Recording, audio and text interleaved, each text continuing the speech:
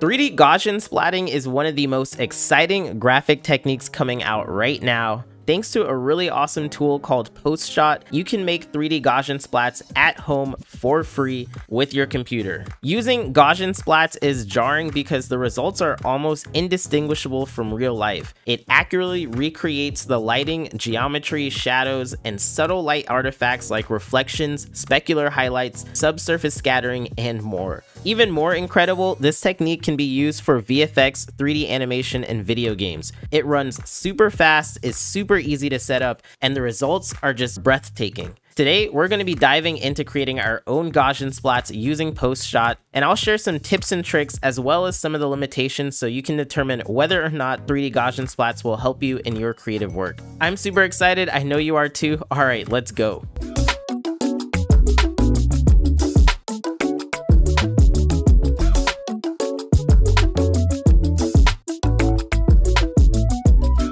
So the first step is to get some usable footage and this process is almost identical to photogrammetry except it's even more flexible by the end result. Make sure that you have a still subject and get a series of angled shots that have a consistent white balance, exposure, and focus. For a high quality splat, I like to use my phone's camera set to pro mode with the exposure and white balance locked and I also shoot in 60 frames per second and try to make the shutter speed insanely high. The faster your shutter speed, the crisper your video will be and the the better it will be at preventing any motion blur. What's crazy though is that this app can still process footage that's not in the best optimized quality. So I've actually been able to pull footage from a movie scene and just about anything and it's worked out. So you don't actually need to be as strict with your footage. But one thing to note is that if you are using a movie scene or some old footage, you may be limited in how many camera movements you can pull off before it starts to look like a Pollock painting. Another way to think about this is the better your footage is and the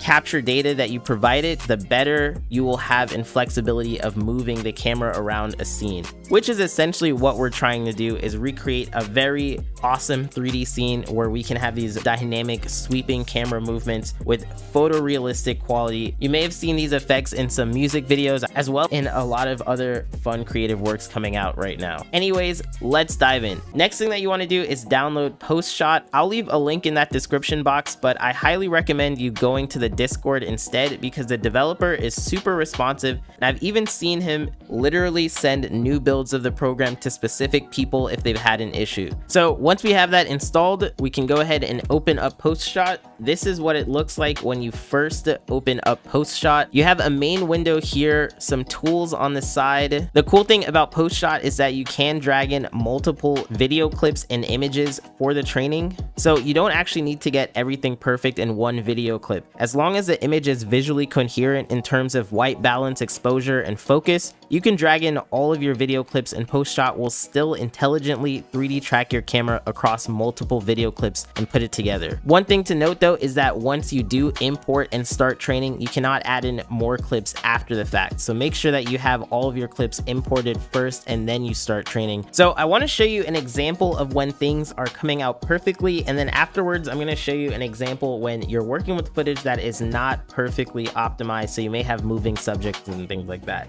For our first clip, here I have a quick 56 second clip of a fire hydrant outside. I'm filming this with my phone and you're gonna notice that I'm trying my best to film a full 360 degree view of the object and I'm altering my height and angle of the camera as well as getting really close to capture those minute details. So let's go ahead and drag in this clip into PostShot and instantly you'll see an option box for the import settings and these values are intelligently chosen based on your footage. So 98% of the time I actually leave these at their default settings, but for those of you who are not getting a decent result or facing performance issues, or maybe you're just working with trickier footage, I'll go over some of these values, what you can change, and how they're gonna affect your final result. So for the image selection, it's set to default at use best images, but you can also change it to use all images. Using best images, it'll intelligently select only the best images out of the entire set, whereas all images is useful if you already know that every single image you want it to train on. This will of course increase increase the amount of time that it takes for it to train. If you're working with video, I highly recommend leaving it at best images because if it has to process every single frame, it will take forever and you won't actually get that much better of a result for the performance hit. The next setting is max image count, which it is selected at 113 out of 3,385. This value will change based on how long your footage is and what you've imported. This again is very smart and normally picks the best value, but if you wanted to train on either more or less images, you can change the number here. If you're curious as to why it says 3,385 images, that's just how many frames are in my video, which it will extract as an image. The next one, camera poses, isn't really an option. I think it's just really letting you know where the camera's position is getting from, which it's clearly getting from the imported images. Single lens and focal length, you can leave off, but if you wanted to speed up training time and you know that your footage is shot with the same lens and same focal length, then you can check this on and it will be a bit faster. Another thing to note is that while it can take footage from various lenses and focal lengths, I would recommend you avoid doing so for the best result. Maximum features per frame is set to 8K features, which is actually 8,000 features. These are how many points it will use as a reference per image, and raising this will give you more points at the cost of performance. So in theory, it will increase quality while lowering it will decrease quality and be faster. Radiance field profile is set to Splat MCMC, but you can actually train nerfs or use Splat ADC for your result. My favorite is Splat MCMC because it runs the fastest, produces amazing results, and lets you control max splat count rather than ADC, which uses a splat density amount for rendering. Downsampling images, I leave this to checked on because I'm typically working with 4K footage, which is huge, and downsampling to a smaller pixel amount will run faster, but look worse, and running the native size will run slower but look slightly better. Honestly, 1600 pixels I think is more than enough, so I typically let it downsample to this amount, but you can uncheck this if you're looking to get a little bit more quality. Create a sky model is a feature that you can't turn on without retraining again, and I actually normally leave this off because I'm not a fan of how it looks. But for this example, I'm actually going to turn this on just so that you can see how it looks. It's more of a visual effect for the far distant splats, and it doesn't really put a performance hit, but I find that it makes the splats less editable in other software, which is why I normally leave this turned off. The max splat count is set to 1000 K splats, which actually means 1 million splats, which is a huge amount and I think is going to be more than enough for this scene. I typically leave it if you were to raise this amount, you'll get more quality at a performance hit. If you were to lower this, you would have less quality with faster performance. The next option, start training, is set to checked, which just means that once you click the import button, it's going to automatically start training. And I'm actually going to turn this off. Another option here is stop training after it's checked on and it's set to 30k steps. Now, you can set this to stop earlier or later. Earlier will produce a lower quality result while more steps will produce a better result, though I do believe there is an ability to overtrain a Gaussian splat, and I found that cranking it to insane amounts will sometimes produce a result that captures more of the visual artifacts in the footage better than some of the lower step counts, which is not actually what we want. So I typically leave this at 30,000 steps, and if I need more visual fidelity, I'll raise it to 45,000 and then 60,000, but I have found that it diminishes when I try pushing past 120,000 steps, but again, your results may vary. So once all those settings are set, we can hit import and we're gonna get a new set of options here on the right. The first thing that we wanna do is click on store training context. I highly recommend that you do this. That way you're able to pause and start your training, close out of the project, open it back up, and you're not gonna lose any of your progress, which is huge time saver. Next thing that you're gonna wanna do is click save so that you have your project being able to save to a specific place. Fire hydrant splat example, hit save, and then we can go up here and click start training. It gives us a little progress bar. What it's doing in the background is it's taking that video clip and it's extracting images that it will use for the camera training. Most of this is happening on your CPU. So if you have a fast CPU, this process will happen very, very quickly. So normally around the third step, you'll start to see some of the points getting made. And if you wanted to move the camera around, you can just click and drag with your mouse and it moves just like any other 3D program. You can also right click to zoom in and out. And one thing that's really cool about this is that you can actually see the depth getting changed as it's processing. So it's almost like it's processing processing each image and then calculating the depth and putting those points in the right space. So we have what looks like a recognizable part of the fire hydrant itself. We also have what looks to be some of the rocks and most of the features are actually getting generated on these rocks because they are such a great source of texture and such a great use for the training sample. In the far background, if we zoom out a little bit, you'll start to see the rest of the space here, which even though we weren't trying to capture, it was a part of the training set in the footage. So we have a little bits of the trees here with the green and then some of the road as well as the sidewalk. Right now though, all we're doing is rendering out a point cloud, which lets us render this out at an insane frame rate. So we're getting pretty much real time here. You can move around and this is not taking any significant processing power on the computer whatsoever. So again, the GPU utilization is using more just for my video recording than it is for creating this scene, which is freaking awesome. Okay, and now that it is done camera tracking, you can start to see all of these start to come in and it's starting to look so much better. It's now training the radiance field, which every step from here, it's only gonna look better and better. Now, if you're curious what all these little symbols are, these little icons are the camera poses. So this was every place where I put my camera and it's honestly crazy to see because I would say it is accurately representing it just based off of the footage that I gave it. Another thing that you're gonna still see are the points. So if you wanted to change some of the rendering here, we can go in and click off the points. We can also turn off the camera poses by checking this here. And all you're going to see then is the image. Well, we still have this axis bar, so we can turn these off as well. And you're going to want to leave this last option on because that's actually where the Gaussian splat is. So if you check this off and you don't see anything,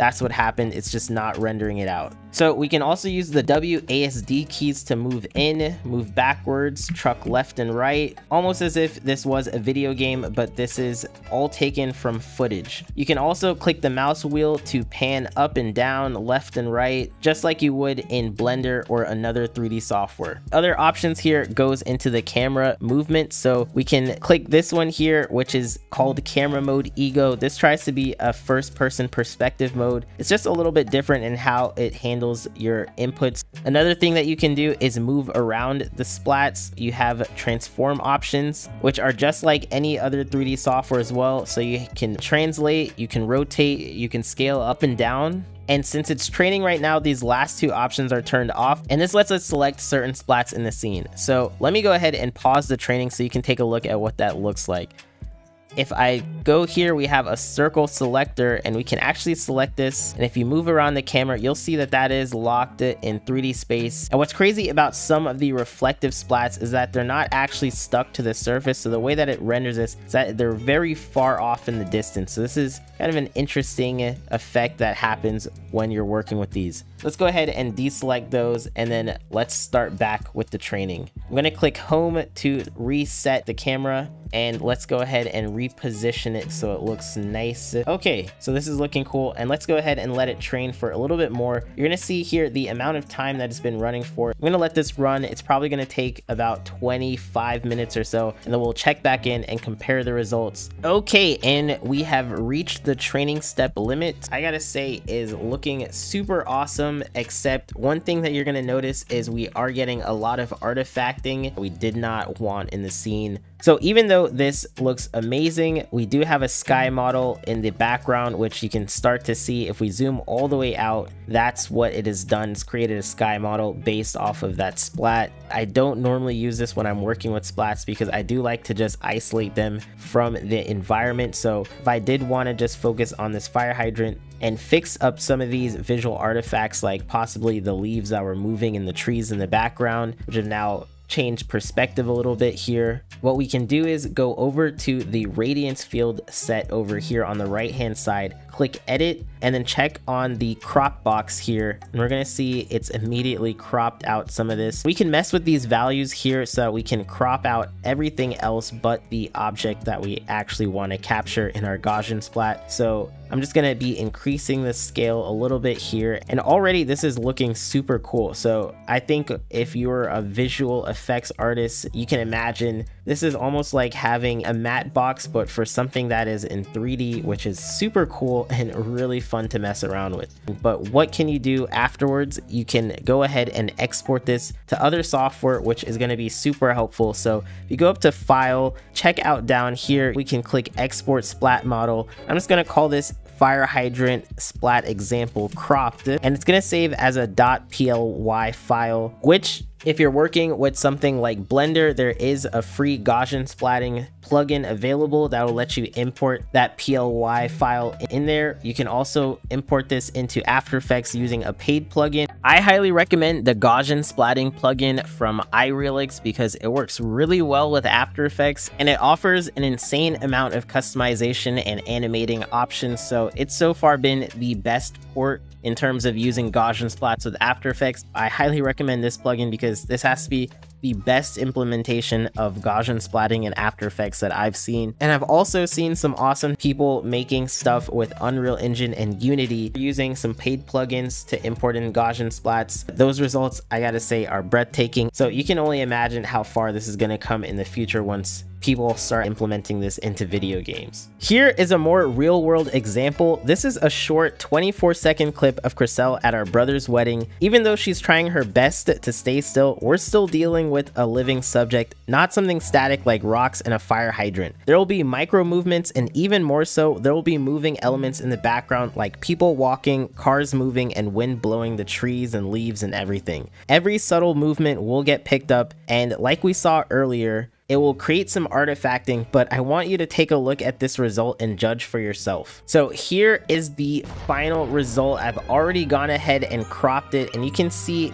every single camera movement was tracked. It has this really nice detailed point cloud. And I'm gonna turn some of these off so you can actually see the fidelity that we have in this. This looks amazing, I gotta say. And again, all of this is running in real time. I'm pretty sure we're getting over 100 or 200 frames per second. It's honestly running as fast as my monitor could probably process this. So as one thing I want you to really take note of is that it does capture the amount of detail, but if we were to change some of the camera poses, some of the elements might actually get a little bit messier or if we zoom in or zoom out. So you might notice at this this higher angle. I don't think I actually recorded the top of her head that much, so it's gonna be a bit artifacty and look very strange. And you can see it did a really amazing job of capturing the scene. It does have a lot of the artifacts as earlier, such as the people in the background, but I gotta say this still looks like a really awesome effect. All of this was captured here with just that 24 second clip and we can get a really awesome shot. I decided let's see what it does with a quick bathroom selfie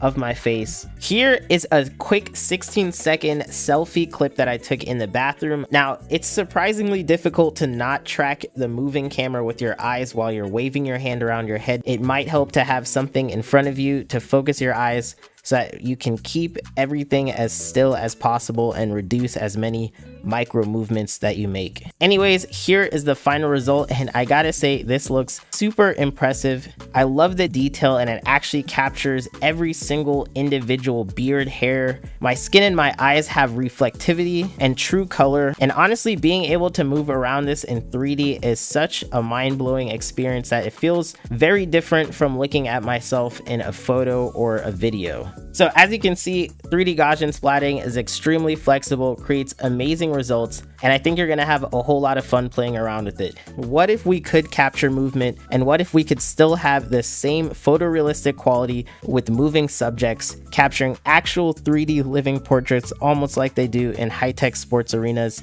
Well, 4D Gaussian splatting promises just that, and we'll cover that in a future video we're making, so make sure to subscribe and turn on post notifications so you don't miss that when it comes out. In the meantime, I highly recommend you check out our last video on a brand new AI video generator called Kling. We tested it out and got some very exciting results from it. Anyways, thanks for watching. Hope to catch you in the next one. All right, peace.